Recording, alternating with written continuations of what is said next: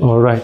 I just uh, started working on the second soundboard that I have with my for my uh, twins for my two that I'm working on. This is a cedar which I glued together these two pieces, and I started with uh, flattening one side, and then just just to have some kind of flat surface, not shaving that much and then other side and deciding about uh, which side is better to be on the top of the instrument actually on the face of the instrument. Meanwhile i was uh, reach the first soundboard to this stage uh, which i flattening two sides. Uh, this side is not uh, shaved that much. Then i keep uh, soundboard with uh, four or five millimeter working on inlays, purfling around the sound holes and placing the sound holes and place the bridge uh, to see where these um, elements would be.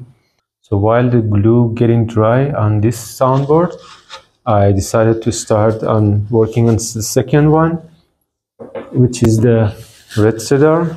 So at this stage, you have to make sure that the uh, your table is completely flat. Also, the plane, the blade must be very, very, very sharp here, as, as much as you can, because the wood is very, very soft, and we need a very thin layer of shaving on the soundboard, and we need this kind of very flat surface remains after shaving. So I continue shaving on this side. I don't go very deep. I keep uh, three, four millimeter for purfling and sound hole.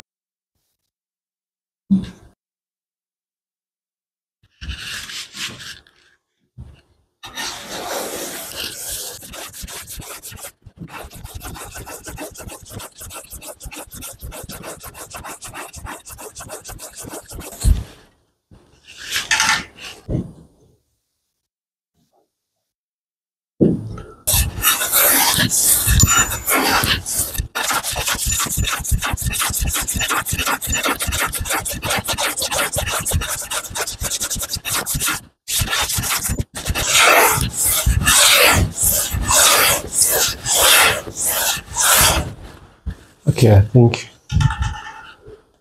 that would be enough. Okay, after flattening two sides uh, to have at least one side completely flat and shine, I uh, put the ball on it and then draw the line to determine where my oud bowl is going to be on the soundboard. Now I'm going to mark the place of the bridge of the sound holes and uh, the center line, this kind of stuff. Even with very soft clamps and not too much pressure, this wood can be easily damaged and you can see a, a very, very small scratches, even with very tiny pressure. Sometimes with the, like if I wear watch or any kind of things on my hand, I make some scratches on the wood. So I keep these extras for clamping the wood until the bracing part. So first, mm, because the wood is perfectly matched together, sometimes I miss the center line. So I'm going to draw the center line again. Of course, it is the joint place.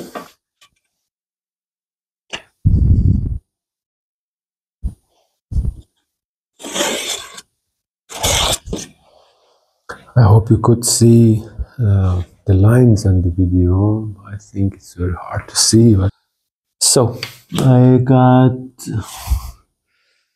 exactly 50 centimeter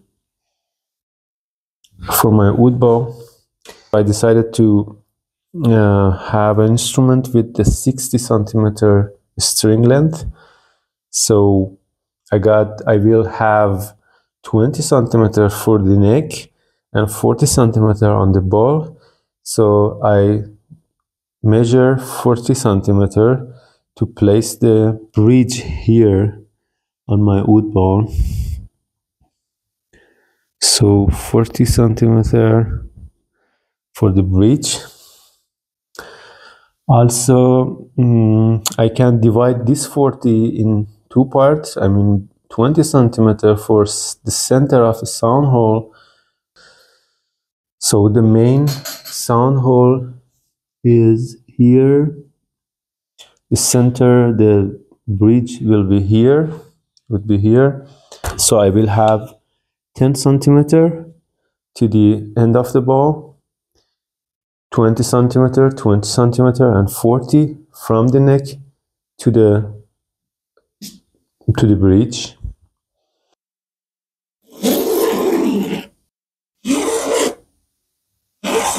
Now I'm going to um, go for 10.1 centimeter from the center of the sound hole.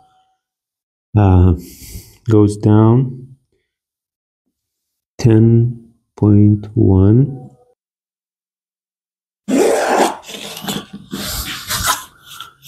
then check it is exactly 10.1 10.1 exactly. Very nice.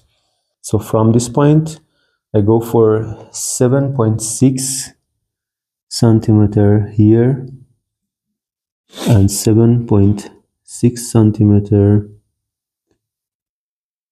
the other side. So these two are the center of this of the two hole two small holes on the soundboard check it again. Final check. Got here. We got 10.1 here. We got 60 76 millimeter here.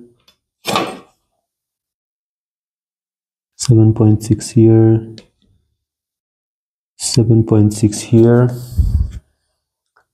very nice.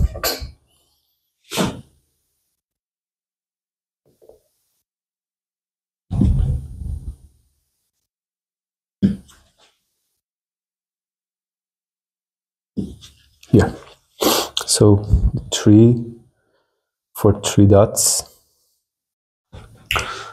Uh, then I will uh, drill these three holes um, with a six millimeter uh, or to seven millimeter hole because the this my compass this my compass uh, shaft is seven millimeter. So I I want to drill three holes here to for my compass to um, to fix it on the soundboard to make these channels